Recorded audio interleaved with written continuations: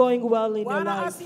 Praise God. bwana asifiwe sana Praise God again. kwa kweli hatuwezi kosa ushuhuda For sure, we cannot lack testimony. wamama wana ushuhuda Jina la We women, we have a testimony. ninamshukuru kwanza mungu kwa wokovu I thank God for the salvation. kwanza ambako ni shukurani There yangu is the first thing that I just want to glorify God with. God have served me. akanifanya tofauti na wamama wengine And He have made me different from other women outside.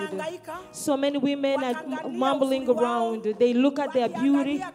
When they look at the type of work they do, when they see their money. mimi Bwana ameniokoa. But God has served me. Praise the name of God. nasema tu Bwana awajua walio wake. I always say that God knows His people. ninasikiaka fiere sana kwa And I am so proud for that. sababu ninajua kilichokuwa ndani Because I know what is inside Haleluya. me. Amen. Sijua niseme nini. I don't know what I can Bwana say. ndiye anajua. God is the one who knows.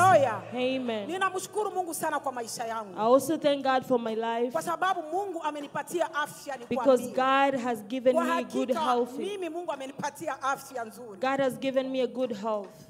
Ninaangalia maisha yangu, When I look at my life, sijawahi kusema niliingia kwenye hospital nikagonjwa, ugonjwa naingia kwa I never went to the hospital and be seriously ill. Namshukuru Mungu kwa hiyo. I thank God because of that. Nilikuwa kwetu, Bwana kanisaidia, sikukuwa na ile donke I was back home and God helped me. I never really experienced that type of sickness until today. Mimbe kauma naenda hospitali na Even when I will have pregnant, I will, Hiyo ni uh. I will go and deliver safely and I come back.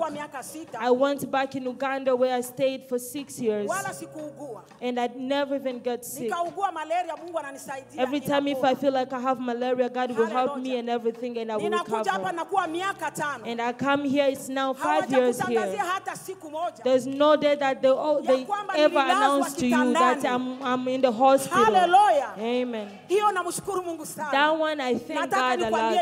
I want to tell you so you can understand Bwana amenisaidia kwa hiyo. that God has helped me for that. kosa ibada hapa seme nina And. I never even miss the service because I'm sick. Hiyo ni ushuhuda mkubwa sana. That's a great testimony in my life. That's why sometimes I jump and jump because I'm so I'm healthy. That's why I'm, I, I jump. Ninamshukuru Mungu kwa sababu watoto wangu wote And I also thank God because all my children. God has protected them. mwingine haujue majina yao. Sometimes you don't know their names. kwanza jina lake Elia, The first one is El- Wa pili Elisha, jina yake Elijah. Dorcas. The second one is watatu Dorcas. jina yake Elize Elisha, The third one is Elisha.